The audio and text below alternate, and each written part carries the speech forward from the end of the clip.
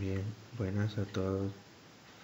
Para conectarnos de manera remota a un servidor por medio de Security Show hay que realizar la siguiente configuración en la máquina virtual al igual que en anfitrión pues trabajaremos con IP y configuraciones de interfaces de red ¿qué hay que hacer? bueno nuestro primer paso sería seleccionar nuestra máquina virtual en este caso es Debian versión 8.7.1 segundo paso ir a configuración. Y estando dentro acá buscar la parte de red. Como vemos nos da cuatro opciones para poder instalar adaptadores de red. El primero ya viene habilitado por defecto y está conectado a NAT por medio de este podemos descargar datos y archivos desde internet. Bien ahora vamos a instalar un segundo adaptador de red. Lo habilitamos y lo vamos a, a conectar al adaptador anfitrión y nos aplica por defecto una interfaz de red virtual de VirtualBox. Como vemos acá bien le damos ok. Aquí está nuestra primera configuración realizada. ¿qué es lo que hacemos enseguida? lo que haremos es iniciar nuestra máquina virtual. Vamos a iniciar. Esperamos que cargue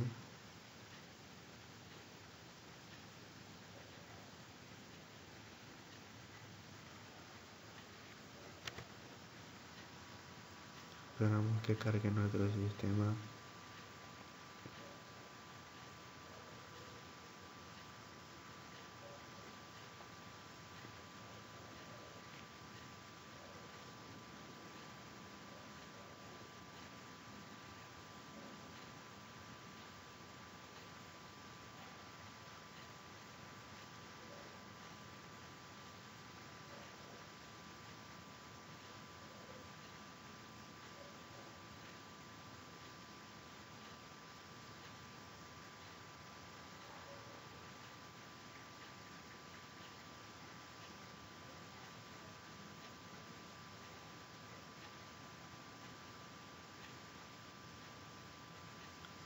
Bien, una vez cargado, nos logueamos como usuario.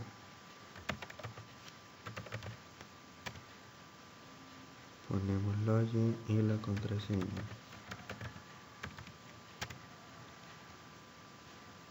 Bien, una vez estando dentro ya, nos vamos a loguear como superusuario.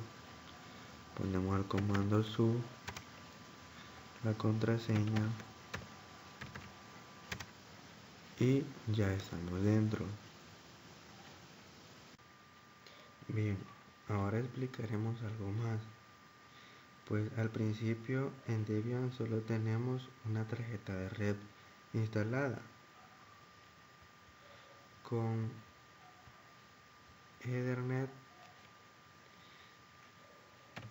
Ethernet 0 que es abreviado ETH0. Si instalamos un adaptador sería un Ethernet 1. Si instalamos otro sería Ethernet 2. Y asimismo para lo que deseamos instalar.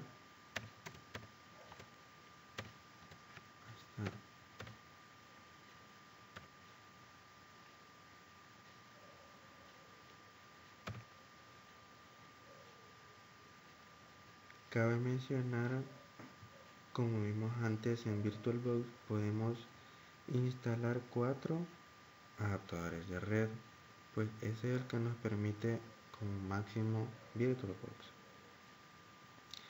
Para configurar las interfaces de red tenemos que basarnos en la configuración que tenemos en las interfaces de red virtual de VirtualBox. Lo que hacemos es ingresamos a la red de Windows que sería centro de recursos. Compartido. Bien ahora lo que vamos a hacer es a buscar la red de nuestro VirtualBox como ven acá está vamos y damos propiedades. Y vamos a buscar protocolo IPv4 versión damos en propiedades. Y como vemos ya nos da la dirección 192.168.561 acá puede ser la 2 también aceptar. Ahora lo que hacemos es nos da la dirección IP una vez conocido editamos el archivo de la interfaz de red. Para tener comunicación entre la máquina invitada y la anfitrión nos movemos donde está el archivo que sería cd etc network. Network. Estamos y ya estamos dentro. Ahora lo modificaremos con el comando nano interface. Como ven acá la Ethernet 0 está como de HCP la cual es dinámica. Y ahora configuramos la otra tarjeta de red la cual sería la Ethernet 1 ponemos hello hot plug hot plug perdón acá no me fijé es este hot plug ETH1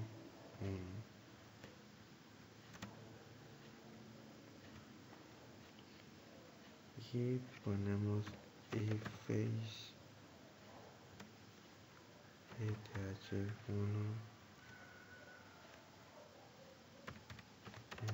estático y en lugar de poner HSP lo pondremos una estática. Ahora ponemos la dirección. 192 168 56.2 y seguido le ponemos la máscara de red. 255 255 255.0 ahora lo que hacemos es lo guardamos con control O. Control O. Enter. Control X. Y ya está. Ahora lo que hacemos es limpiar la pantalla. Bien. Ahora vamos a hacer un paso muy importante cada vez que se realiza un cambio de los elementos de servicio del sistema en este caso a las interfaces es necesario detener y reiniciar los servicios. Ahora detendremos el servicio con los comandos pleca etc etc pleca init.d networking networking y stop aquí los voy a detener y ya los detuvo. Ahora lo que haremos es reiniciarlo con start y ya lo reinició. Bien ahora con esto una vez ya hecho este proceso lo que hacemos es con el siguiente comando levantar las tarjetas de red con if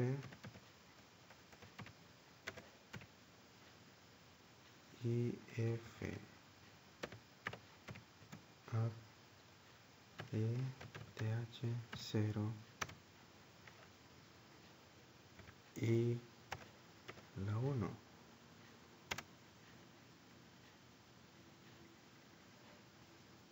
bien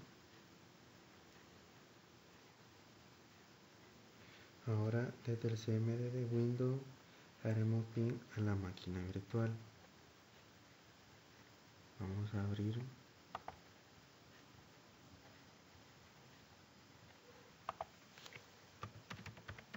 Símbolo del sistema. Y hacemos pin. 192 168 168 56 1 y están siendo completados enviado 4 recibido 4 y perdido 0 ahora lo que hacemos es hacer pin desde acá.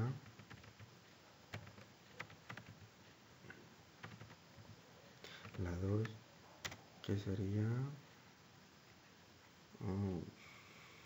pin perdón perdón. Aquí se me había escapado. Y ahí están siendo entregados. Esto quiere decir de que ya tenemos respuesta y ya hay comunicación entre ambas entre la máquina virtual y la máquina anfitrión. Como ven ahí los paquetes están siendo enviados para detener este proceso solo damos control C. Como ven 30 han sido transmitidos.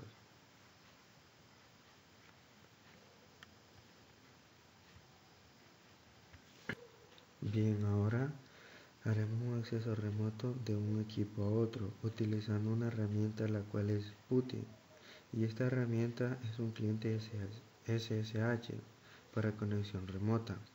Buscamos PuTTY, nosotros, bueno ya lo tengo instalado, ustedes lo pueden encontrar en, Google, solo ponen PuTTY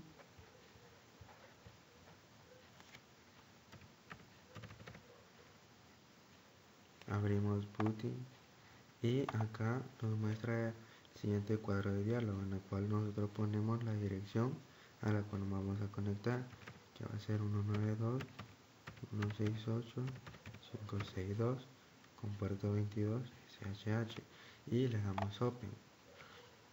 Bien acá ya nos muestra este cuadro y lo que vamos a hacer es aloguearnos.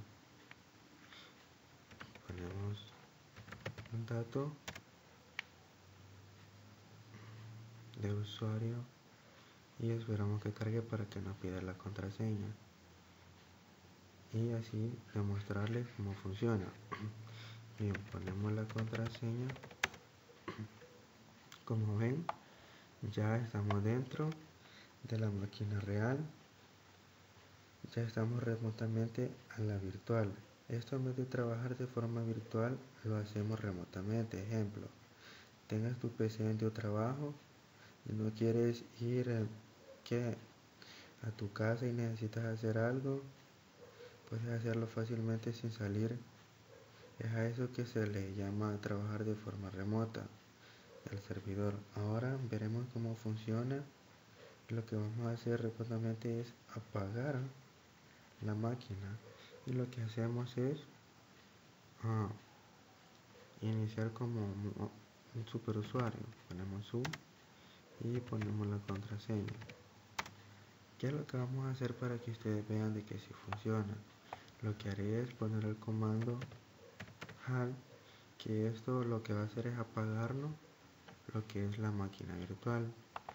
Damos Enter, como ven, ya la está apagando. Y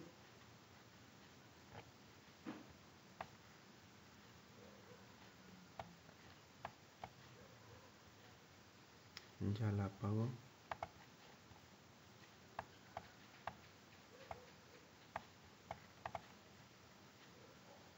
bien. Hacer SSH una manera más segura de acceso remoto a nuestro servidor. Para ello utilizaremos siempre Putin. Vamos y abrimos Putin.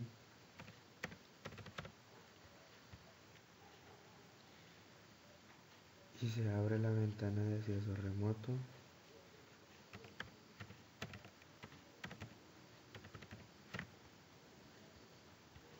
a servidor y, y ponemos el dato root.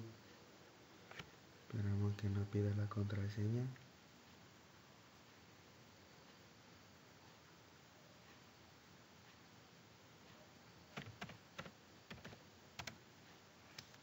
Y el problema es este que podemos acceder como usuario por defecto como un usuario sin privilegio o privilegiado con root el problema de que root accede de manera remota al servidor. Bueno todo sistema Linux tiene la cuenta root o usuario privilegiado o superusuario. El problema es que si atacan y detectan de que el servidor tiene el servicio SSH, conoce que Linux tiene super usuario y usuario root y se puede acceder con este. Lo que haremos es bloquear el acceso a este. Ahora también se sabe que el puerto de SSH es 22 y hay que cambiarlo. También pondremos en SSH un máximo de intento de 3 y un tiempo de logueo de 15 segundos. Para ello, editaremos el archivo sshd.config en la ruta pleca etc pleca ssh. Aquí localizamos lo anteriormente mencionado. Bien, esto lo vamos a hacer desde la máquina virtual ¿qué es lo que hacemos? vamos y entramos y ahora vamos a el archivo.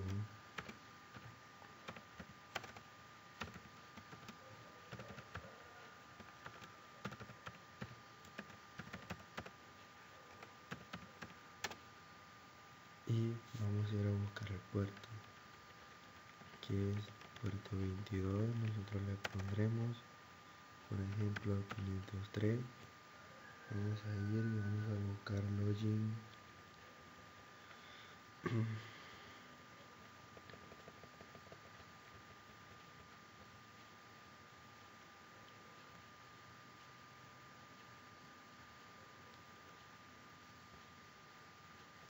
login range time aquí le vamos a poner un tiempo de 15 segundos. Pondremos no y acá le ponemos un max. Um, two, three,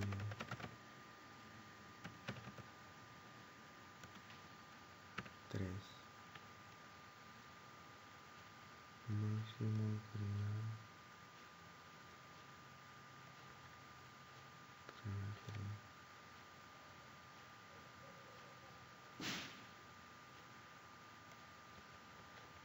y lo guardamos con el control X ahora qué es lo que haremos así como ya el archivo está editado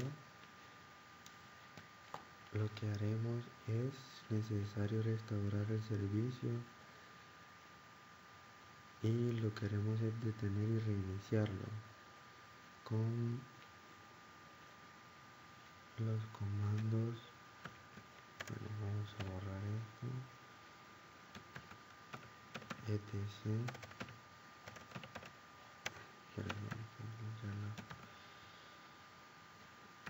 Init.d ssh stop. Para que lo detenga. Y estamos con la historia para arriba. Start para que lo inicie. Los archivos que que permiten detener y reiniciar son demonios. Pues estos se almacenan en una carpeta con la cual hemos detenido y reiniciado el servicio.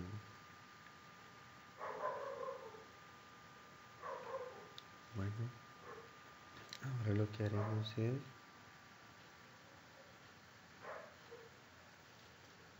vamos a abrir PuTTY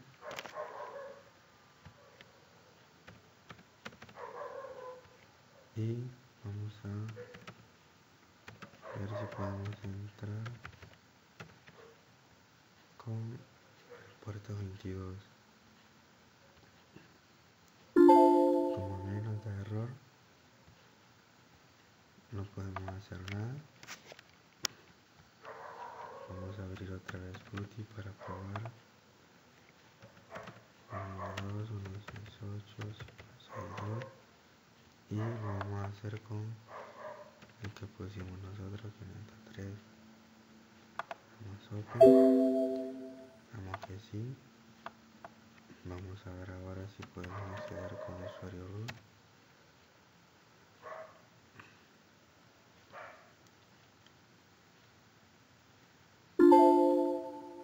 se puede dice. Estamos bien. Volvemos a abrir PuTTY y vamos a ver cuántos intentos nos da.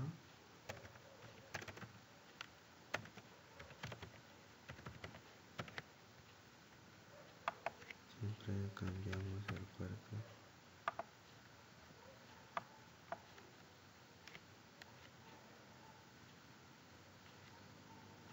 vamos a esperar ahora el tiempo de 15 segundos. Si no lo hacemos ahí está nos da error. 15 segundos lo volvemos a abrir y vamos a probar lo de los intentos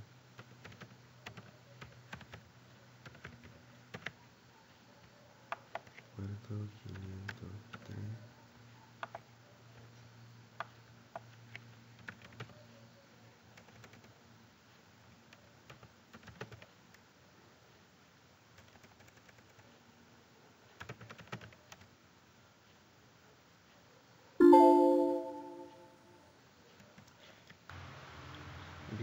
Ahora pasaremos un archivo de datos de nuestra máquina real a nuestra máquina virtual con nuestra herramienta WinSCP. WinSCP es un cliente FTP gráfico para Windows que emplea SSH.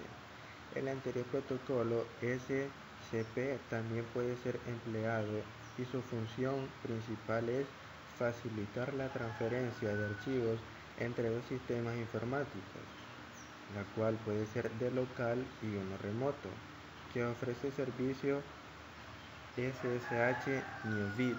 Bueno, ahora vamos a empezar y vamos a loguearnos a nuestro sistema. Ahora nos logueamos como superusuario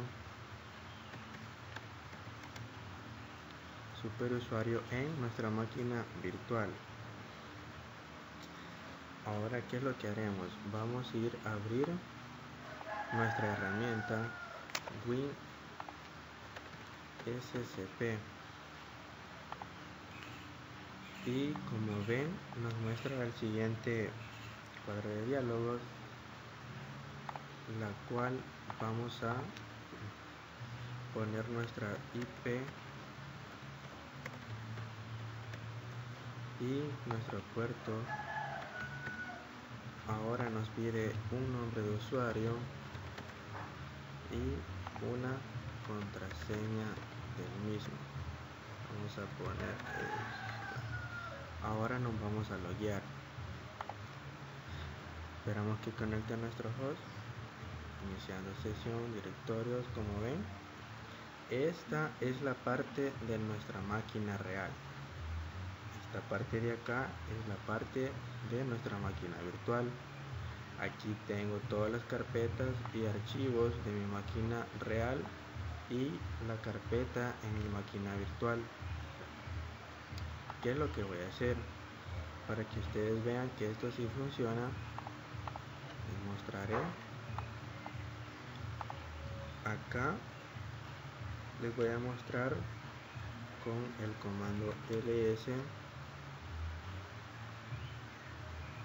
las carpetas y archivos que tengo. Entonces voy a entrar a la carpeta prueba.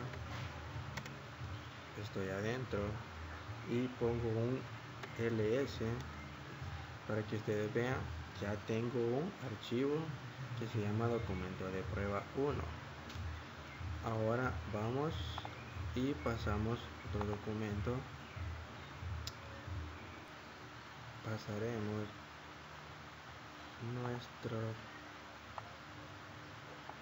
archivo a, la máquina virtual y vamos a ir a corroborar de que sí se haya pasado y vamos a dar un nuevo ls como ven ya está el nuevo archivo que es datos personales. Jonathan acá está. Pueden observar ya tenemos los archivos. Y es así como WinSCP nos permite pasar archivos de nuestra máquina real a la máquina virtual. Bien, hemos llegado al final de nuestro video tutorial. Esto ha sido todo. Gracias por ver mi video.